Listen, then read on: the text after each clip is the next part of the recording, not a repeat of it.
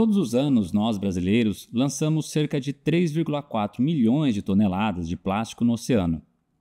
Em todo o planeta, já foram mapeadas mais de 400 zonas oceânicas mortas, áreas em que há tão pouco oxigênio na água que apenas alguns organismos conseguem sobreviver. Nos últimos 200 anos, desde a Revolução Industrial, a poluição fez com que a acidez da água do oceano aumentasse 30%. Agora, se todos esses dados são conhecidos pelos cientistas, por que continuamos a degradar esse ecossistema? Eu sou René Lopes, tenho cerca de 40 anos, sou um homem branco, uso barba e óculos, e recebo nessa edição do programa Coalizão Oceano nossos convidados que vão nos ajudar a refletir sobre essa questão. A Camila Domit é professora da Universidade Federal do Paraná e é responsável pelo Laboratório de Ecologia e Conservação e também pelo Centro de Reabilitação, Despetrolização e Análise de Saúde e Fauna Marinha. Seja muito bem-vinda, Camila. Olá, Renê. Olá, Rodrigo. Muito bom estar com vocês aqui novamente. Então, eu sou a Camila, eu sou uma mulher de mais de 40 anos branca, tenho os cabelos longos, estou aqui vestindo uma blusa preta para combinar com o nosso cenário aqui do oceano, então criar um, um contraste com o nosso cenário. E estou muito feliz de novamente estar aqui conversando com vocês. Obrigado pela presença, Camila. O Rodrigo Reis é biólogo, professor da UFPR no programa de pós-graduação em Desenvolvimento Territorial Sustentável e no programa de pós em Ensino de Ciências e Matemática. Além disso, o Rodrigo também é coordenador do Laboratório Móvel de Educação Científica da UFPR Litoral. Rodrigo, seja muito bem-vindo. Tudo bom, Renê? Tudo bom, Camila? Um grande prazer estar aqui. É, então, eu sou o Rodrigo, eu sou um homem de mais de 40 anos, branco, 46 vamos colocar, é, um pouco acima do peso, é, uso óculos e também estou usando preto, porque combinaram que a gente combinou que hoje todo mundo ia ter que estar de preto para fazer o contraste com o cenário. Com o cenário. Seja bem-vindo, Rodrigo. Eu queria começar essa nossa conversa, né? A gente vai falar um pouco hoje sobre educação, sobre divulgação científica, né? Pensando o nosso desafio da década do oceano. E eu queria começar provocando vocês, para vocês falarem se vocês acham que assim a gente tem é, informação suficiente circulando, né, se há uma disponibilidade dessas informações, né, e principalmente se essas informações que é, é, é estão circulando, se é que estão, elas fazem essa essa complexidade, essa complexa relação da dinâmica de como a gente vive né, e de como a gente trata o nosso oceano. Bom, René, eu acho que eu vou começar essa conversa aqui, já que a gente está trazendo o Rodrigo para nossa para o nosso podcast, né, para o nosso, nosso diálogo aqui. É, ter informação disponível é um ponto e as pessoas acessarem essa informação é outro ponto, né? Então, disponibilidade de informações, eu acho que desde o momento que a ONU estabeleceu essa década como a década do oceano, uma força global se, se trouxe, na verdade, à tona, né, muita informação. Então, universidades, ONGs, é, instituições de governo, a própria Unesco, se to todos se mobilizaram para construir esses documentos, documentos de fácil acesso, muito infográfico, né? Então, essas informações gráficas que facilitam a nossa compreensão do porquê o oceano é importante, porque para cada um de nós o oceano é, é essencial para a sobrevivência, por que, nós precisamos conservar esse ecossistema, né? trazendo de uma maneira muito explícita essas questões da poluição, da degradação, das perdas que é, o oceano tem e que nós temos por consequência disso, né? Então, existe muita informação disponível hoje em sites, em filmes, em documentários, em materiais didáticos, né? Em artigos científicos. No entanto, essa informação ela ainda não contempla todo o conhecimento existente, né? É, ainda há uma ausência ou uma, uma, uma dificuldade de acessarmos informações. Nós viemos já conversando um pouquinho sobre isso na, no episódio passado. Né? Lembrar que a década do oceano foi, inclusive, instituída porque menos de 3% de todo o recurso mundial é direcionado para a pesquisa na ciência oceânica. Então, a gente ainda tem é, uma defasagem de informação, mas, além disso, existe um distanciamento da própria sociedade. Então, as pessoas, por mais que tenham é, até acesso a essa informação, elas ainda têm dificuldade em fazer o uso desse material. E nós percebemos essa questão nas próprias escolas, quando nós trabalhamos, por exemplo, com formação de professores, quando nós vamos para dentro da sala de aula nas zonas litorâneas, né, que seria então o, o jardim da casa dessas pessoas, né? Elas ainda têm dificuldade em trazer o mar, trazer o oceano para o seu dia a dia, para seu, a sua conversa, para suas, é, os seus módulos de formação, né? Para os seus processos pedagógicos. Então, assim, ainda existe um distanciamento é, no uso dessa informação. E eu acho que esse é o maior desafio da década, né? Então, transformar a cultura de uma maneira a fortalecer a cultura oceânica, ou seja, essa, esse, esse empoderamento mesmo da sociedade com relação à sua relação com o oceano, essa valorização do ecossistema e de todas as suas relações, ainda está muito distante da maior parte da sociedade humana, né, da população humana, e isso assim envolvendo pessoas que vivem no litoral e pessoas que vivem longe do litoral. É, eu acho que é interessante até trazer para o professor Rodrigo, que trabalha muito forte com universidades, com escolas, com professores né, da rede pública, da, do ensino básico, é, o quanto também já sentiu esse desafio da, da informação não estar tá ainda é, no dia a dia das pessoas. Né? É, até, professor Rodrigo, se você puder falar um pouquinho, é, justamente sobre essa questão do espaço escolar mesmo, assim, né? Os professores é, é, têm esses materiais disponíveis, eles estão utilizando. Como é que está a formação dos nossos alunos, né? Esses níveis iniciais é, do ensino. Tá, acho que o primeiro é, o ponto que a Camila traz, assim, eu acho que a gente está vivendo um momento onde a gente tem uma forte proliferação de informação e de, de informações e de tudo quanto é jeito, né? A gente tem informações boas, a gente tem informações ruins. Eu acho que esse momento que a gente vive de redes sociais, de, de da, da, internet fazer parte de maneira indissociável do nosso dia a dia, é, é um processo assim, que a informação está posta. Né, todo tipo de informação. Eu acho que na hora que a gente tem projetos que têm como foco a valorização da cultura oceânica, esses projetos estão colocando sua informação nas redes da mesma maneira como a gente tem outros tipos de informação que estão presentes aí.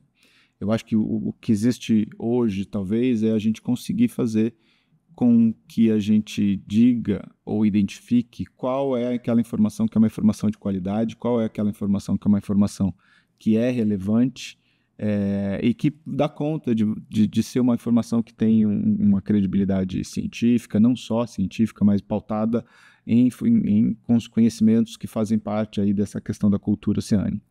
E isso eu acho que é uma das fortalezas de projetos que trabalham com a área é, da divulgação, da cultura, por exemplo, integrar e dizer, ó, esse tipo de informação que você tem aqui é uma informação que vale a pena, é uma informação que é importante. Isso serve de apoio, inclusive, para os professores. Né? Então, ó, na hora que o professor vai buscar informação, aonde que ele vai? Qual a fonte dessa informação? Então, seja o material que vem da Unesco, chancelado pela MCTI, o site da coalizão, onde que a gente encontra esses processos ou essa informação para que a gente possa utilizar na nossa realidade. E aí tem uma outra questão que, assim, eu acho que é muito mais do que o acesso à informação, que é um pouco do que a Camila falou. É, quando a gente fala com os professores, a gente tem que pensar num processo também de formação continuada. Não é só a, estratégia tá ali, não é só a informação tá ali, mas como que a gente utiliza esse processo? Porque a gente fala na formação inicial dos estudantes, mas a gente tem que pensar também nos déficits que a gente tem na formação de professores. Porque não necessariamente a gente trabalha questões relacionadas à cultura oceânica na formação de professores de biologia e de ciências, ou de outros conhecimentos, como na física, que está totalmente relacionado, na matemática, na geografia. Então, trazer esse approach, essa possibilidade da formação continuada do professor, para que ele consiga fazer o seu ensino muito mais pautado na realidade onde ele está inserido, é um compromisso também, é uma estratégia também, que ajuda você a aumentar, ampliar a capilaridade da informação que a gente está construindo, porque eles vão ser atores fortes nessa capilarização da informação. Né? O professor citou essa, essa questão, né? A gente tem informações boas e ruins, elas estão uhum. circulando, né? E a gente precisa saber fazer um filtro, né? E aí eu acho muito interessante, eu queria trazer para essa conversa, porque assim, muitas vezes a informação científica é, que tem essa credibilidade, ela ao mesmo tempo tem uma, uma certa frieza, ela tem um certo distanciamento de linguagem. E aí você vai ver aquelas campanhas de desinformação que rolam no WhatsApp. É sempre um discurso assim que exige um engajamento, que, que puxa alguma uma questão emocional. É, é, importante a gente pensar essa comunicação científica também através dessas perspectivas. Né? Então, fazer uso dessas ferramentas. Olha, vamos, vamos fazer um, uma conectividade emocional com a nossa questão oceânica, com o nosso dia a dia, com uma linguagem que seja acessível. Hum. Né? Então, são desafios nossos também, né? Até para combater, né? O que o professor falou da desinformação. Eu, eu acho que a gente vivenciou, e é lógico que, embora o tema não seja esse, mas a gente vivenciou um momento de desinformação e, e de de fake news, né, é muito presente agora recentemente com a pandemia. E quando a gente observa, apesar da gente ter uma forte valorização de algumas instituições científicas no contraponto dessa informação, como foi o caso da Fiocruz, do Butantan, aquelas pessoas que se destacaram como principais veiculadores de informação não estão na academia. São pessoas que vieram da academia, mas que estão ocupando outros espaços, estão ocupando outras mídias. Eu estou falando aqui dos youtubers, dos influencers. A gente teve, por exemplo, Natália Pasternak, Ashley Marinho, pessoas que se destacaram no trazer informação. Então eu acho que cabe, e acho que esse é um pouco do papel que esse podcast está fazendo, é buscar que a, que a academia ou que as universidades busquem outros formatos de dialogar com a sociedade, que é alguma coisa que não fazia parte necessariamente da nossa formação enquanto pesquisador. Eu sou um cientista, eu sou um pesquisador, e não sou da área de comunicação, tenho dificuldade de fazer esse processo. Hoje estudo essa área, entendo a necessidade muito forte da academia conseguir dialogar. Eu acho que isso é uma necessidade que a gente observa por parte das instituições de ensino, né, das universidades, das instituições de pesquisa, mas não somente, acho que é uma oportunidade. A gente está construindo agora um caminho, uma oportunidade de poder estruturar caminhos e, e estratégias de diálogo muito mais forte com a sociedade, aprendendo, observando talvez aquelas pessoas que não estão no meio acadêmico. Eu acho que isso é um caminho que para mim é sem volta. Eu entendo isso como um caminho sem volta e é uma oportunidade que a universidade tem de olhar para si e falar assim, ó, será que a gente está dando conta? Ou quanto a gente está dando conta desse processo? E momentos e espaços como esse, por exemplo, como um podcast, tem um pouco desse papel, né, de criar uma outra linguagem, uma outra maneira de falar sobre o tema, por exemplo, da cultura oceânica, que não necessariamente fazia parte da realidade da instituição há alguns anos. Eu acho só um ponto interessante disso é o processo pedagógico começa dentro da própria universidade, né? Então é uma transformação pedagógica, é mudar a forma como os cientistas é, divulgam a sua ciência. E não acho, René, nem Rodrigo, né, que todos os pesquisadores precisam mudar e todos os pesquisadores, de alguma forma, precisam aprender a gostar da comunicação é, mais popular, né, ou da divulgação científica, é, no aspecto de, de, de uma linguagem mais simplificada, mais acessível, mais inclusiva. Mas é importante que todos os pesquisadores aprendam a trabalhar em rede, a trabalhar em grupo, porque aí você tem uma parte da equipe que é comunicador, uhum. que é quem vai traduzir essa ciência dura, distante, fria para uma ciência acolhedora, inclusiva, transformativa, né? Então eu entendo que esse passo, ele é essencial para toda a ciência. E aí voltamos, né, para o nosso olhar do cientista que precisa se transformar nesse processo, mas é importante também que existam esses espaços de diálogo abertos, sejam nas instâncias de governo, por exemplo, uma mudança na própria Secretaria de Educação, no Ministério da Educação, no Ministério de Ciência e Tecnologia, na, na Secretaria de Ciência e Tecnologia. Então, essas mudanças em diferentes instâncias, na própria, no próprio nível municipal, né? essa abertura de diálogo, de construção de processos pedagógicos diferenciados, né? de aproximação é, das realidades locais dentro da sala, como parte do, do, do, da vivência, do aprendizado dentro da sala de aula. Eu sou professora de um curso de licenciatura e, e vivencio isso com os meus alunos. Eles também têm dificuldade de se entender parte de um território costeiro, né, oceânico, com uma alta dependência desse ecossistema para sua sobrevivência, para o seu, seu, seu desenvolvimento econômico, é, de correlacionar a sua cultura, inclusive muito tem como cultura própria, eles não percebem ainda o quanto aquela cultura é fruto de uma comunidade litorânea, que ele só tem aquele, aquele, aquela, aquele comportamento porque ele vive numa zona litorânea, né? E aí como é que ele consegue usar dessa realidade, dessa vivência para trazer essas experiências dentro da sala de aula? Então assim, eu acho que é uma transformação coletiva de sociedade e que é necessário um processo educacional Mas é muito importante um processo artístico, estimular a gente, né? Você acabou de trazer a questão emocional. A gente tem que estimular o emocional.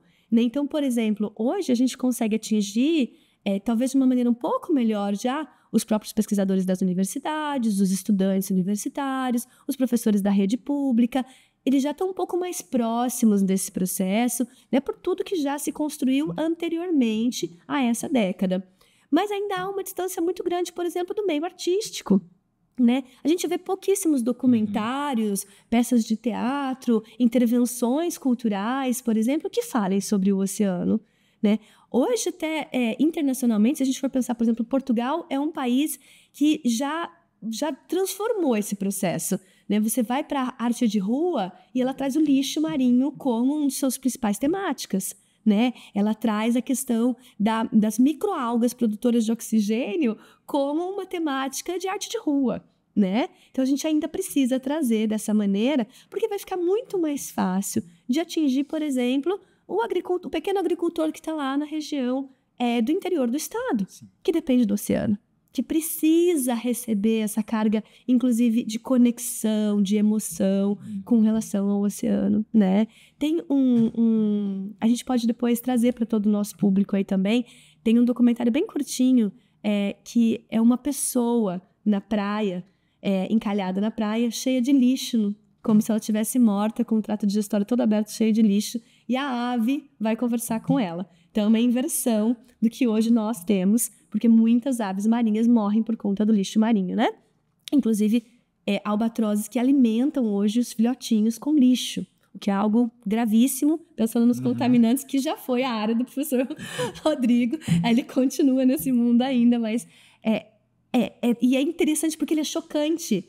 Porque você vê um ser humano cheio de lixo, morto na praia, encalhado, e claro que as pessoas param ali e falam: peraí, deixa eu dar uma olhada. Então, esse papel também de, cho de chocar pela chocar. arte, sensibilizar. sensibilizar pela arte, ele é essencial no processo e a gente ainda tem esse distanciamento. Precisamos trazer essas pessoas para dentro do processo. É, eu acho que isso é uma coisa que tem muito mais do que a ciência, que é esse poder de sensibilização.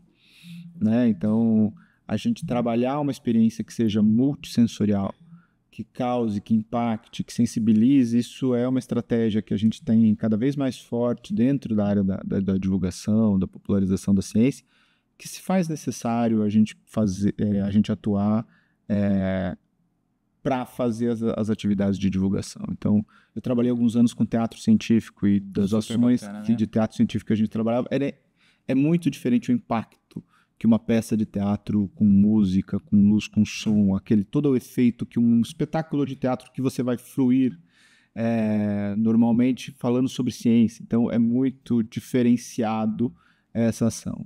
É, então a gente tem, acho que tem que investir cada vez mais em experiências que façam mesclar as iniciativas de arte, de ciência. Um outro exemplo agora, se a gente pegar, por exemplo, a temática da, da Enedina, né, que é um marco aí pro, tanto para a questão das mulheres, que foi muito explorado agora do, do, na, no Dia Internacional das Mulheres, mas também da ciência, como uma pesquisadora, uma pesquisadora Sim. negra da universidade. É, o poder que tem o painel que foi colocado lá no Politécnico, ou a, ou a escultura que foi colocada na Rua 15, para fazer essa divulgação, para todo mundo Sim. pensar, mas quem é essa pessoa? Uhum. Quem é essa atriz da ciência, da engenharia brasileira paranaense que está exposta como uma representação artística, seja no mural, seja numa escultura, num lugar de ampla visitação. Então, isso tem muito mais força, eu acho, do que a gente ficar falando em, em outras estratégias, né? Eu acho que essa integração claro. é muito potente. Agora vocês falaram sobre trabalhar em redes, né? E também sobre essa, todo esse potencial da comunicação e das artes, né? Eu queria compreender que vocês, é, que vocês falassem um pouco quantos editais, né, as ferramentas que a gente tem de incentivo à ciência hoje já abarcam de certa maneira, olha, vocês vão ter que trabalhar, né, vai fazer, vai realizar pesquisa, só que vai ter que trabalhar em rede ou vai ter que trabalhar com uma etapa de divulgação científica, né? Os editais eles estão permeando esses desafios, porque são desafios grandes. Aí eu entendo que há necessidade de, de, de fomento, de financiamento também. Então vou puxar um pouco assim. Eu acho que há alguns anos já faz parte do rol dos editais do CNPq você ter uma área do recurso, uma parte do recurso destinado exclusivamente para as ações de divulgação e popularização da ciência. Então, se você pegar a principal agência financiadora que a gente tem no Brasil, o CNPq, primeiro ele começa, ele avalia a área da divulgação da ciência como um, uma parte, como que você vai fazer o seu plano de comunicação, de divulgação dentro do edital, isso para praticamente os editais de todas as áreas, mas para além disso, eu acho que teve alguns editais mais recentes onde você tinha projetos específicos para a área de divulgação científica, ou propostas específicas contempladas para a área da divulgação científica. Um exemplo, o edital de, de ciências humanas, que foi lançado no ano passado, ele aprovaria um projeto específico para a área de comunicação, para fazer a comunicação de todas aquelas ações de, de divulgação. É, o edital do PELD, que são os programas ecológicos de longa duração, também tinha uma proposta que era exclusiva para fazer a divulgação, a articulação das iniciativas de divulgação. Então, isso aparece para a gente cada vez mais como uma importância na, na, no processo do financiamento, quer dizer, ó, a gente precisa fazer com que essa informação chegue para o grande público, para além da academia. E um outro caminho que a gente tem é cada vez mais a gente ter a estruturação de projetos em rede. Né? Então a gente tem grandes chamadas em rede, os próprios editais é, de museus de ciência, ele previa a estruturação de redes, os de ciências humanas, os na área ambiental. Né? Todos eles eram projetos que favorecem e estruturam grandes redes colaborativas aonde a gente pode integrar diferentes competências. Um exemplo que eu queria trazer que aqui para o Paraná é muito interessante são os NAPs, os Novos Arranjos de Pesquisa e Inovação, que são financiados pela Fundação Araucária. Então, a Fundação Araucária, em vez da gente abrir um edital para determinada temática e pulverizar esse recurso em diferentes laboratórios, eles estão falando assim, nós vamos montar, vocês têm que montar uma rede, uma rede temática. Então, a gente tem diversos NAPs, diversos arranjos de pesquisa, é, então a gente tem NAP na área de taxonomia, taxon online, de mudanças climáticas, é, de emergências climáticas, a gente tem o NAP águas, o NAP hidrogênio, e um dos NAPs é o NAP na área de divulgação e popularização da ciência, que é o NAP Paraná Faz Ciência, que eu sou um dos articuladores, junto com uma rede enorme de pesquisadores no Paraná inteiro. Então a gente tem pessoal da UEL, da UEM, da UTFPR. Hoje, nessa segunda fase que a gente tem do Paraná Faz Ciência, a gente vai para as 12 universidades públicas do Estado.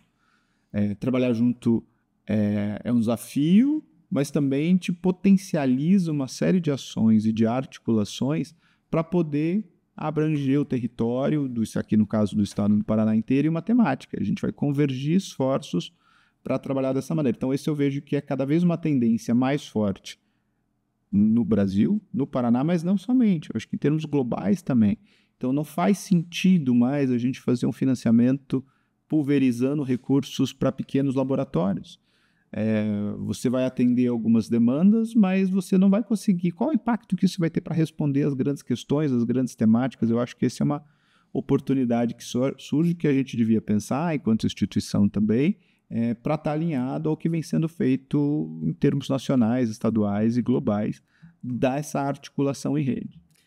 Queria pegar um, um gancho aqui favor, e lembrar que a coalizão Paraná pela década do Oceano, ela veio exatamente no edital do CNP, que é Ministério de Ciência e Tecnologia, para divulgação científica. Uhum. O que era, assim, é inovador. É novo. Né? Porque a a, a, os órgãos de fomento, eles não tinham, as agências de fomento, né? Eles não tinham essa, essa estratégia até 10 anos atrás. Isso veio mudando com as ODSs. Eu acho até importante colocar isso. Grande parte dos financiadores hoje, e nacionais e internacionais, obrigatoriamente você tem que correlacionar o seu projeto com os ODSs.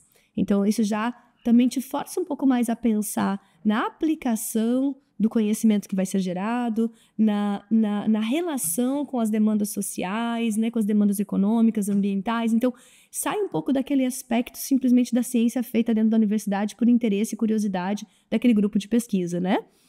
E os editais que vieram com esse olhar de comunicação, divulgação científica, é, interação entre os, os resultados já gerados, né, de é, é, transformação das informações já geradas em outros projetos de pesquisa para comunicação. Então, eu acho que esse, essa mudança é realmente incrível, assim. E a coalizão é parte disso, né? Para nós conseguirmos aprovar o projeto coalizão, é, nós tínhamos que trabalhar em rede, nós tínhamos que propor diferentes metodologias, abordagens de é, é, divulgação científica, de comunicação com a sociedade e trabalharmos com múltiplos atores, né? O que é um outro desafio para nós da pesquisa, principalmente, que é deixarmos de trabalhar simplesmente com a geração de conhecimento, mas trabalharmos com a construção de conhecimento.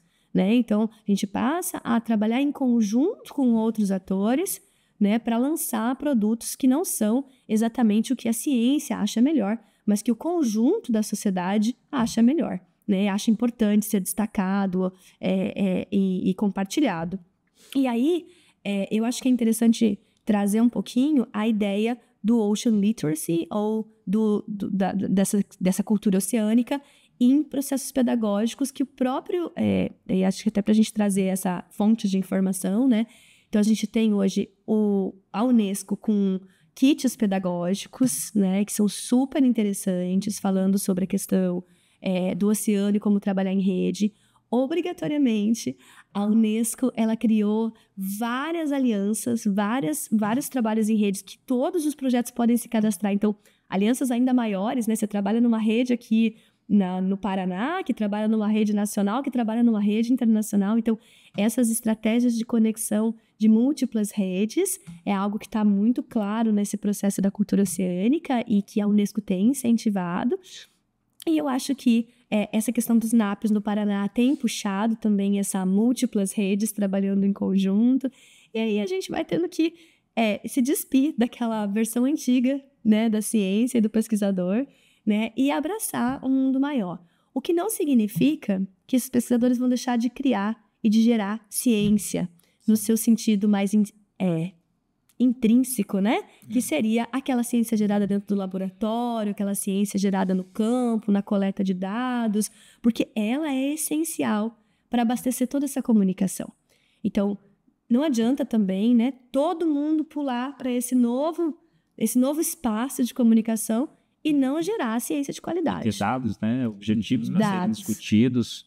Exatamente, Renê. Eu acho que a gente não pode perder também, é, é, principalmente com relação à questão da ciência oceânica, a década vem para gerar ciência oceânica em todos os seus aspectos, né? E uma ciência é a ciência de base. Então, a gente ainda não conhece todos os efeitos da poluição química, a gente não conhece as fontes das poluições químicas, a gente não conhece as fontes das poluições sonoras, a gente não tem elas mapeadas, esse é um dos desafios da década. A gente ainda não consegue trabalhar de maneira clara, com uma compreensão clara sobre as relações oceano, atmosfera, continente. A gente precisa avançar nesse conhecimento. Né? Agora, assim, é recente o conhecimento, por exemplo, que os manguezais são captadores de carbono né, são inclusive uhum. essenciais no processo de garantia da redução do efeito estufa, ou do efeito estufa, redução da, da, da, da proliferação das emissões dos efeitos do, do, dos gases estufa, que são aí um grande problema nas mudanças climáticas. Hoje, hoje é um conhecimento super recente saber que os manguezais são tão mais importantes que florestas inteiras que já eram é, conceituadas como de garantia de proteção de mudanças climáticas, os manguezais têm a mesma proteção. Olha quantos manguezais nós degradamos em nome do desenvolvimento econômico, urbano, portuário, sem essa informação de que estávamos perdendo não só uma área de vegetação, não só um berçário da biodiversidade marinha, mas estávamos abrindo um potencial enorme de jogarmos dióxido de carbono para a atmosfera e contribuirmos com mudanças climáticas. Acho que essa sua fala, Camila, traz uma questão muito interessante, e a gente estava conversando né, antes de começar o programa. Então, a gente tem o desafio da, da cultura oceânica. Sim. E aí, quando a gente né, olha para esse desafio, e aí você fala muito bem né, sobre como a pesquisa de base ela, ela traz os dados para que a gente possa discutir de fato né, como a gente se organizar como sociedade, é, entra a questão, acho que, do desafio da cultura científica. Então, é, se eu vou pensar né, espaços de gestão pública que vão discutir né, o uso do, do, do, do, território, por exemplo, é, olhar para esses desafios que a gente tem como sociedade organização social em uma perspectiva científica também, né? Então, é, olhar com carinho para o nosso oceano também trata-se de uma questão da gente poder olhar para os nossos desafios diários com essa perspectiva de uma cultura científica, uma problematização científica. Eu queria saber se vocês concordam comigo e se é um pouco por aí, assim. Eu concordo e vou trazer um, um, um, autor que eu gosto bastante, que é o, o, o Vogt, né, o Carlos Vogt da Unicamp. O Carlos Vogt ele faz uma analogia legal para a gente entender o que, que é a cultura científica, né? Como é que a gente entende esse processo da cultura científica? Ele faz a analogia com o futebol. Talvez não seja a, a melhor para a gente colocar, mas eu gosto muito que o Vote faz isso, porque a gente fala assim: o Brasil é um país que tem uma cultura futebolística muito forte. Isso não significa que todo mundo vai ser um grande jogador de futebol. Não significa que todo mundo vai ser o craque que vai ganhar sua vida fazendo futebol. Mas todo mundo entende as regras do futebol, como o processo funciona, senta para discutir sobre futebol, ainda mais depois de um final de semana onde a gente teve uma série de questões. Ai, meu Londrina. então, assim, fazer parte da cultura é isso, é ter a, cultura, a analogia que o Vought faz da cultura científica com a cultura futebolística é isso. Eles, a esperança de que um dia a gente possa sentar e discutir temas relacionados à ciência da mesma maneira como a gente discute temas relacionados ao futebol, que a gente entenda e venha discutir um processo científico que tem, entendendo as suas regras, da mesma maneira como a gente discute as regras, se foi impedimento, se não foi impedimento, se o VAR ajuda, se o VAR não ajuda. né? Então, acho que é um pouquinho desse processo que a gente fala na cultura científica. E, e, e o fomento, a, a valorização, a estruturação que a gente tem da cultura científica se dá através de diferentes formas. Na escola é uma estratégia, mas também é valorizando os equipamentos culturais e científicos que a gente tem, como os centros, os museus de ciência, as ações, como por exemplo as suas feiras de ciência, eventos relacionados à ciência. E aí, pegando de novo, se Portugal é um grande exemplo na cultura oceânica, ele, na cultura científica, eu acho que talvez ele seja o principal modelo que a gente tem em termos globais, que é a ação da ciência viva. Né? Eles têm uma agência, que é a Agência Ciência Viva, que trabalha a promoção da cultura científica em Portugal, em diferentes estratégias, financiando os museus, financiando clubes de ciência dentro das escolas, é, trabalhando com projetos relacionados aos arranjos produtivos locais e à divulgação científica, que são as quintas Ciência Viva. Então, a cultura científica está em todo o espaço na cultura portuguesa, e eu acho que isso é muito bacana. E aí no NAP que a gente tem, a gente está tentando provocar um pouco disso também, se espelhar, se inspirar, eu acho melhor do que se, se espelhar, é se inspirar no modelo que a gente tem em Portugal para ver de que maneira a gente consegue fomentar essa cultura científica no estado do Paraná. Né? Então a gente vai trabalhar com os museus de ciência aqui no estado, com a Feira de Ciências, e uma ação muito forte que a gente vai começar agora é os clubes de ciência. E olha o potencial que os clubes de ciência têm, que as crianças em cada escola discutindo sobre ciência têm de relacionar isso com a cultura oceânica. Para aquelas escolas que estão no litoral, muito mais fácil. Mas para aquelas que não estão, é um desafio enorme e uma oportunidade enorme de discutir de que maneira que a tua escola, que está aqui na região de Curitiba, impacta o, a região da praia para onde você vai no, no final do ano. Né? Então, eu acho que são potencialidades que a gente tem e a ideia dos clubes é que os meninos e meninas desenvolvam problemas de pesquisa a partir da sua realidade e comecem a pensar a ciência a partir da sua realidade, que é um pouco do que a gente faz. É uma estratégia didática muito interessante, né? Muito bacana. Um outro professor e pesquisador que tem se dedicado à causa oceânica e também à comunicação científica é o Ronaldo Cristofoletti, da Universidade Federal de São Paulo. O Ronaldo coordena um projeto grande de difusão científica lá na Baixada Santista, o Maré de Ciência. Ele também tem bastante a dizer para a gente sobre os desafios da cultura oceânica. Compreender esse desafio de entender a nossa relação com o oceano, ele demanda sim que a gente entenda a complexidade desse sistema, ao mesmo tempo em que a gente consegue entender que ações simples podem resolver o processo. Vamos olhar isso de duas partes. Primeira etapa, a complexidade do sistema. nós precisamos primeiro reconhecer que nós temos uma relação com o oceano. Nós fizemos uma pesquisa há dois anos atrás, Unesco, Fundação Grupo Boticário, Unifesp, que mostrou que aproximadamente 40% dos brasileiros e brasileiras não reconhecem que as suas ações influenciam o oceano. Ou seja, quase metade da população brasileira, ela entende que ela pode jogar um lixozinho uh, no chão, que aquilo vai cair num corpo d'água, que não tem problema nenhum e nem vai impactar o oceano. E aí, é, como a gente mudar esta relação? Para isso, né, entender que ela existe, que é a chamada cultura oceânica. A cultura oceânica ela convida que cada um de nós, como indivíduos ou como instituições, reconheçamos que as nossas ações influenciam o oceano e o oceano influencia nossas ações. Vamos olhar alguns exemplos como indivíduos. Parte da alimentação que a gente tem, ela depende do oceano, seja pelos peixes, pelas algas da, da, da, da culinária japonesa, é, pela gelatina que a gente come né, com muita frequência, faz parte do cardápio brasileiro e tantos outros exemplos. Esse oceano é aquele que regula o clima.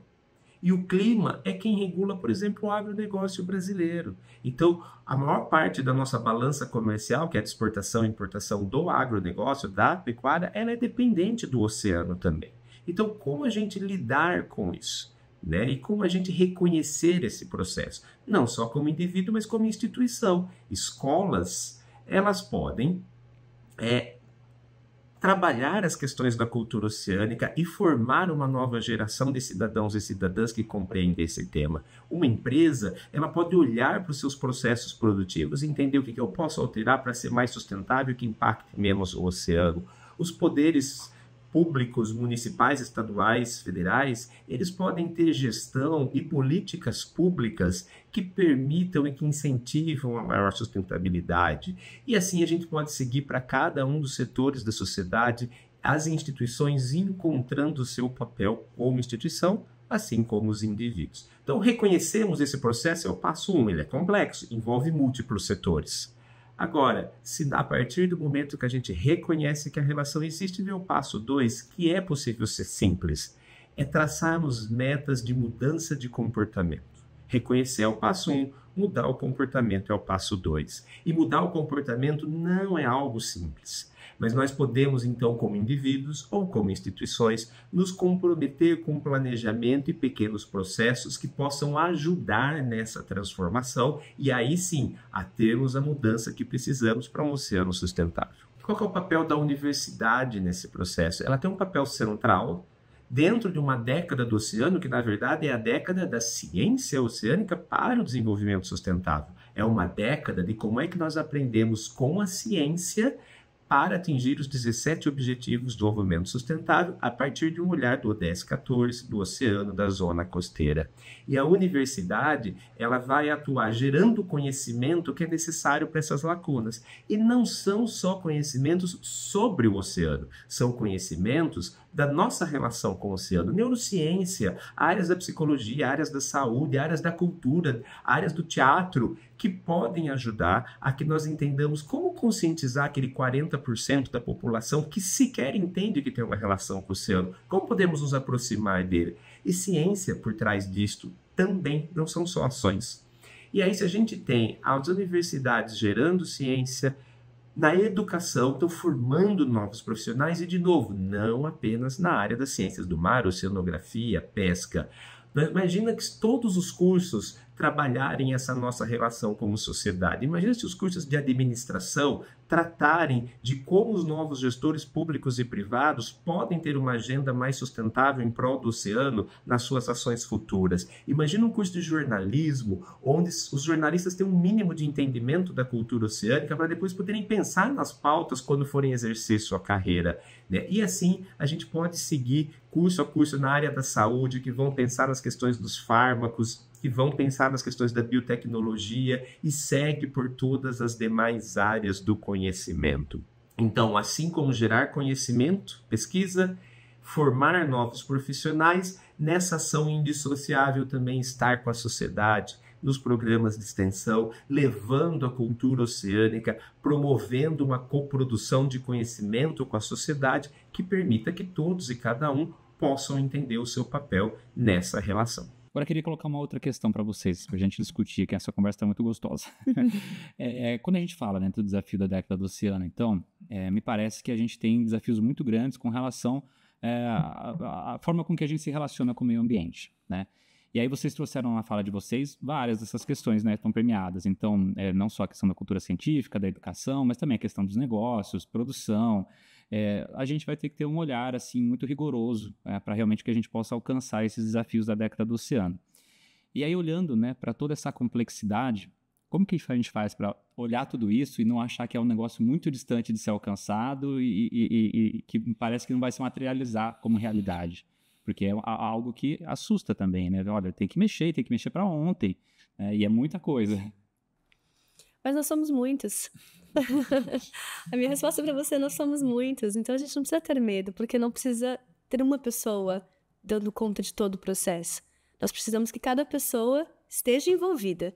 Eu acho que no momento que nós temos mudanças individuais, mesmo que sejam locais, é, no tempo e no espaço, o conjunto de pessoas já vai fazer uma diferença maior, né?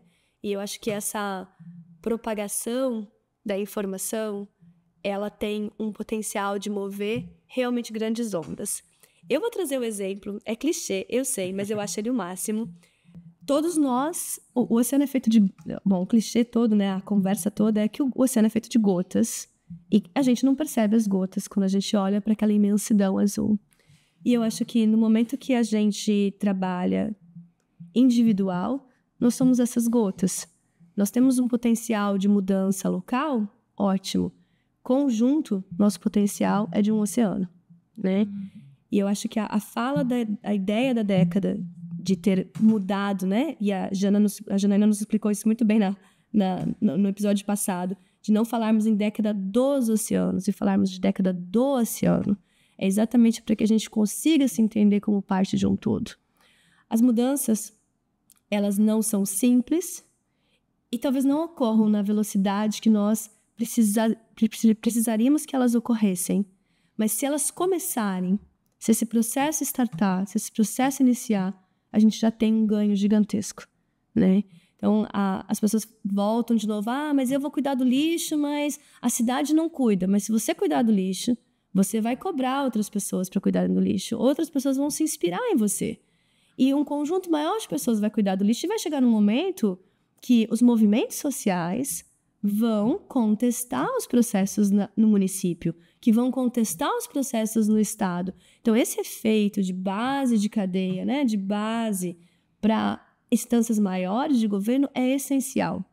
Existe uma pressão que a gente fala de topo para baixo, né, que vem de governo. Já existe essa pressão com a década, existe essa pressão para que o, o, Brasil continue compondo várias convenções internacionais, ele precisa assinar tratados, né, se comprometer com grandes mudanças.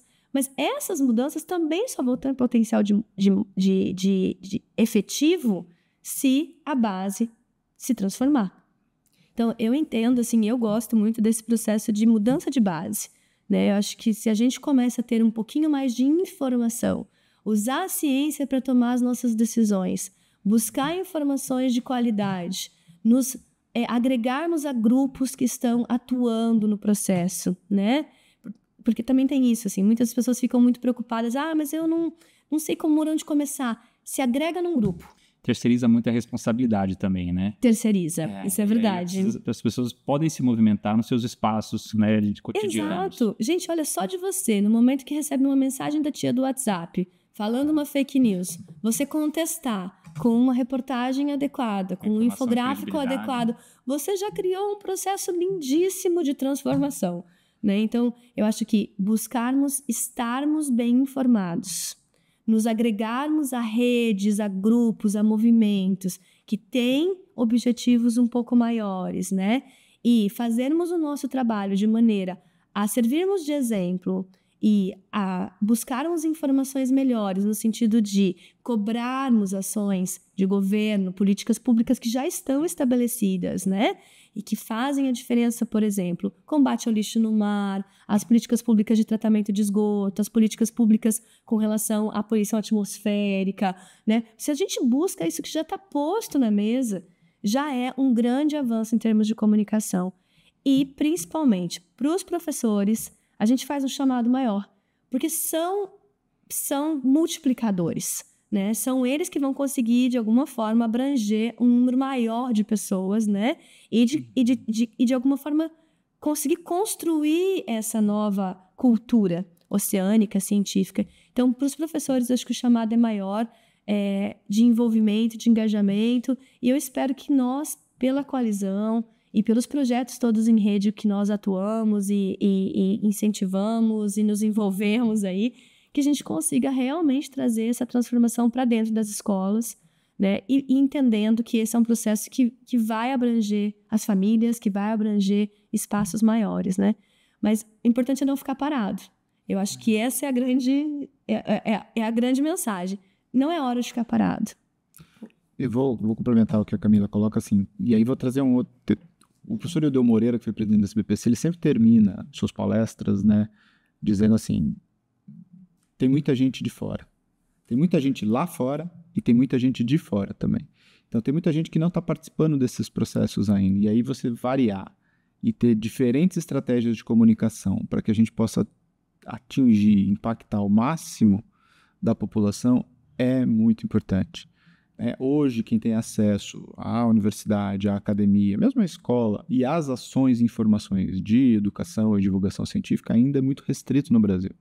Então, a gente precisa trabalhar estratégias para fazer com que mais pessoas, mais cidadãos do, do país inteiro consigam, primeiro, ter acesso a esse tipo de informação, a informação que discute a temática da cultura oceânica, por exemplo, e promover o engajamento dessas pessoas. Então ele fala assim: ó, tem muita gente de fora e tem muita gente lá fora. Então tem um trabalho grande para a gente fazer para buscar envolver essas pessoas, porque cultura oceânica, cultura científica, ele é um processo de mudança de relação social, ele é um processo de inclusão social, né? Então a gente vai atuar de uma maneira muito mais crítica no nosso meio, na nossa sociedade, a partir do momento que a gente vai tomar, tomar as decisões que a gente tem, tendo como base a ciência.